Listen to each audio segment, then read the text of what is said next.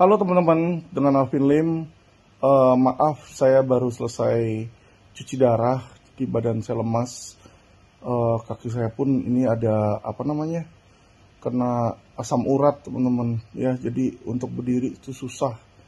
Teman-teman, saya mau memberikan klarifikasi kemarin ya. Ternyata eh, ternyata yang memberikan donasi kepada Agus itu bukan Bapak Aguan dan bukan Bapak Ali Hanafi, teman-teman ya.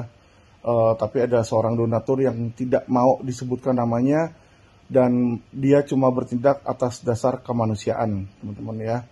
Ya, memang bagusnya seperti itu, teman-teman. Kalau memang mau bantu ya, ya yang ikhlas aja gitu loh. Ya mau bantu buat apa, buat apa, gak perlu kita mendapatkan uh, pahala atau mendapatkan pujian di situ ya. Jadi saya acungkan jempol kepada donatur yang sudah membantu Agus dalam pengobatannya dan uh, kita berharap Agus Agus bisa cepat sembuh dan segera sehat.